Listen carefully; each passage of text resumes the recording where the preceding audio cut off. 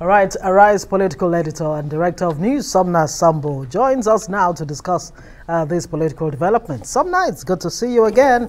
It's been Thank a while so on much. Newsnight. okay, let's begin uh, with uh, Bukola Saraki's declaration of intention uh, to be president in 2023. Well, he says North Central has performed. It is time to produce the president, and we've worked hard for the unity of Nigeria. Is that the reason why we should hand it over to him in 2023?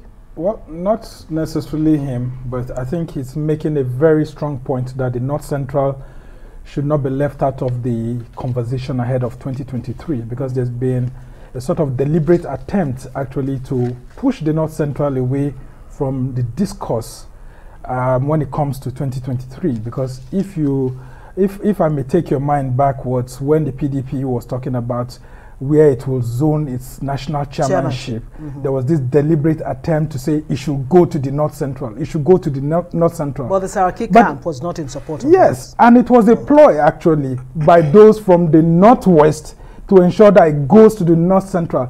Ask yourself, the north central has produced more PDP national chairmanship than the northeast and northwest. So why not the northwest?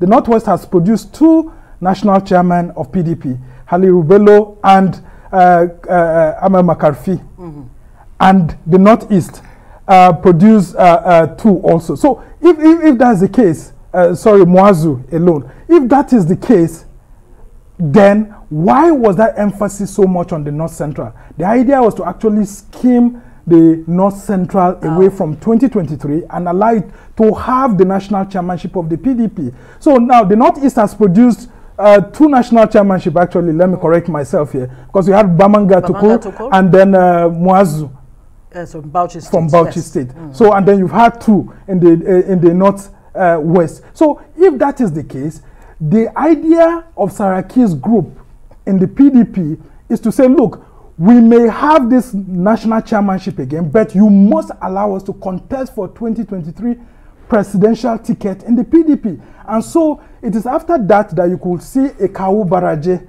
coming out to say, look, even if you're giving us an Ayu, still make it clear that we still have the right to vie for presidential ticket. All right. Well, I'm, I'm interested in two things um, that you'll uh, throw light on. One, what is the significance of his his he's showing his intention or declaring his intention, and he goes to do that in Benue State, where you have the governor Ortom as as the governor there, and then secondly, it, it sounds I don't know whether it's a rhetoric or I don't know, but he says let's vote for a party that has put its house in, In order. order.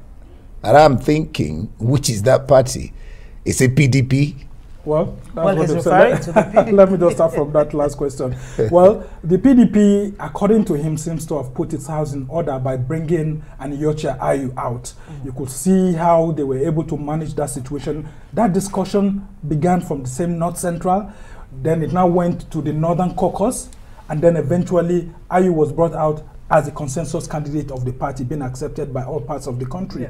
Now, they think that by doing that, uh, elective convention in a consensus manner that a whole lot of Nigerians have now accepted the PDP as a party that's well organized.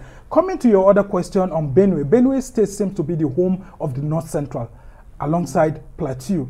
It used to be called Benue, Plateau, Plateau before. So whatever yeah. happens in what's politically called the Middle Belt, it happens between Benue and Plateau State. So Saraki needed to go to Benue to actually form this alliance with Ortom and to let Ortom know that he is behind Ayu and then to follow up on what Ayu has said. Remember, Ayu had said after his emergence that even though he has been elected national chairman of PDP, that if the time comes that a presidential candidate uh, uh, comes out from the north that he's willing to step down. So it looks like there's an agreement between Ortom and Bukola Saraki that look, I will come out from the zone, and eventually, when I do, he should be able to step back. That is, how you should Ayu. step back.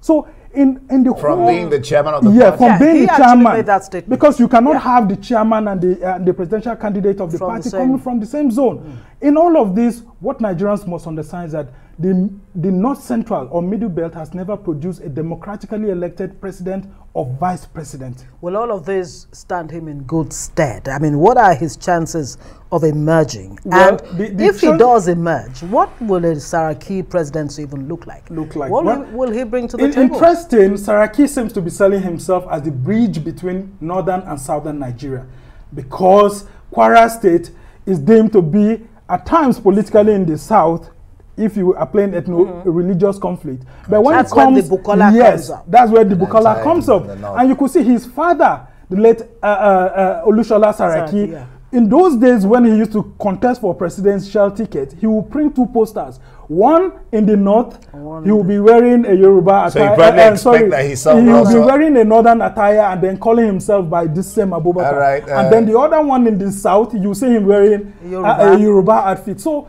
I mean, it up says a lot you. about his son, Thumbs up uh, for Bukola, you, uh, Bukola uh, Saraki, as he beats for it. Yeah, Sam Sambo. That that's interesting.